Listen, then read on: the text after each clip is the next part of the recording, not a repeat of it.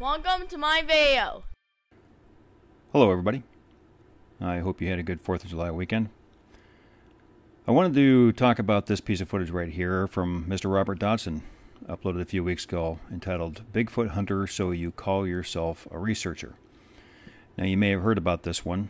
Uh, in this footage, he captures something pretty significant face of a Bigfoot, or so he claims. So I wanted to take a look at it. Now, most people will tell you that uh, it uh, is most prominently seen at about the 240 mark. But as I was looking through this, I noticed it's seen quite a few places in this piece of footage. The first time you see it is about the 115 mark or so, and you can see the timeline marker right there. And there it is. Right there, back there through the bushes. Very interesting. Now, in all, I count about seven different times when he pans away and pans back, and you can still see that creature back there. So, what I wanted to do was take a closer look at it. Of course, the best thing I can do is zoom in it and stabilize it. Now, here it is stabilized, but not zoomed in. And uh, I'll just kind of manually jog it back and forth here. So, area you're looking at is right back here. So, what could this possibly be? Well, the first thing I want to rule out is parallax. I know a lot of people have made some comments that this is most likely some kind of parallax error, and I do not believe that's what it is. Now, I've used parallax to uh, debunk motion in other videos uh, where obvious parallax error was causing the illusion of movement of some subject off in the distance. But for parallax to somehow cause a bunch of leaves to line up in such a perfect manner to create a face that's this good uh, is it's a one in a million chance. I just don't think it's possible. And if it was parallax, the motion that you see from the camera right here would eventually bring all that stuff out of alignment, and the face would just kind of disappear. And it doesn't do that. Now, another possibility, and here it is zoomed in, would be some kind of what's called pareidolia or matrixing. Now, is the human mind's ability to perceive patterns from inanimate objects, such as a face or a body.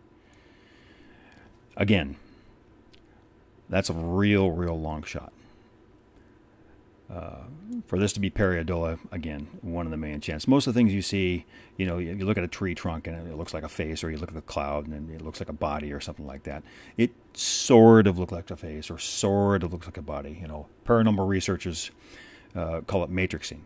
You know, somebody will say the see the face uh, in an orb or something like that, or or the, the body of a human in, in some kind of a mist, and it kind of looks like that, but nothing this good.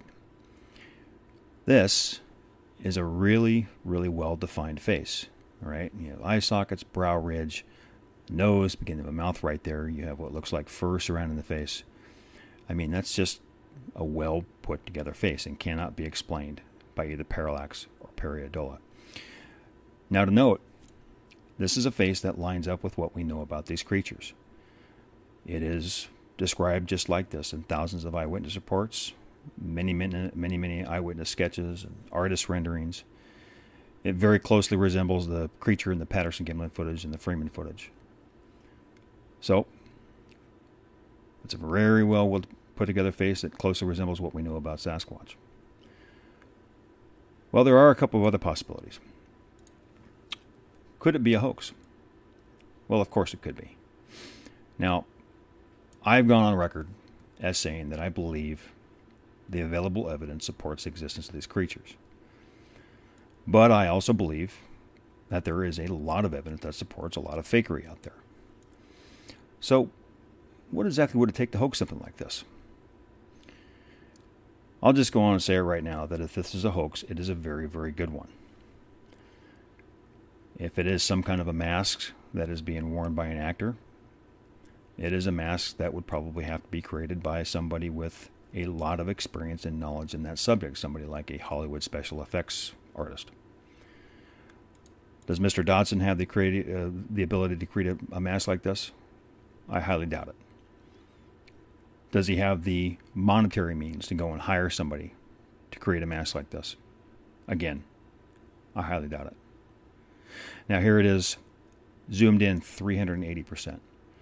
Now, something to note here usually when I go in and zoom in on a, a, a piece of footage I pull off YouTube, generally don't get past 200% before it becomes so pixelated that you can't really pick out any more detail. But this is all the way into 380% and the detail's still there. And you have some very good detail again. You have very good eye orbits, very good nose right there, beginnings of a mouth that's a little bit obscured behind some foliage in the foreground. But again, that is a very well put together face with a very good amount of detail. So the other possibility, if we're talking about hoaxes, and again, I don't mean to imply that this is hoax, but you know we have to, you know, we have to include it in the possibilities here. The other possibility is some kind of CGI rendering, and as I talk about this, I'll move it forward through uh, some other effects I added to kind of bring out and look at more detail. Here it is in, in black and white.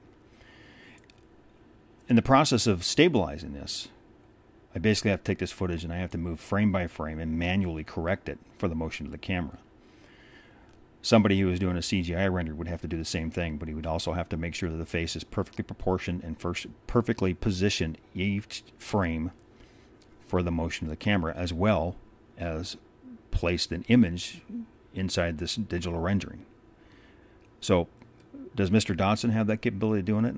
Well, I highly doubt it. Again, now he would probably have to go out and hire somebody or know somebody who does it. and looking at the video from uh, from beginning to end as it was uploaded to YouTube, I don't see any evidence of any edit points or anything of that nature that would point to any kind of manipulation of the video before he uploaded it. So I highly doubt that it is any kind of a CGI rendering, and I highly doubt that it is some kind of a person wearing a mask back there. So that leaves the fourth possibility that Mr. Dodson, through his habituation and baiting activities, has managed to capture the face of a living Sasquatch. So I'm going to leave you with this image right here. And I'll close by saying, you know, I've always said in the past that if I was going to go on record and say that I believe that something in a piece of footage is a living, breathing Sasquatch, that I would have to see the entire body. I'd have to see it walk, have to see it move, I'd have to get an idea of limb proportions, body mass, the hair or the fur. Is it dynamic, static? Can I see the muscles moving under, uh, underneath? I never thought that I would look at a piece of footage like this and only see the face and really believe that I'm looking at a real creature. So I'm going to go on record right now and say that I believe that Mr. Dodson has captured an image of a living, breathing Sasquatch. So congratulations to him. Uh, I hope he follows up on it and does some more investigation in that area. So there you go. That's my opinion. Let me know what you think. And thanks for watching. Have a nice day.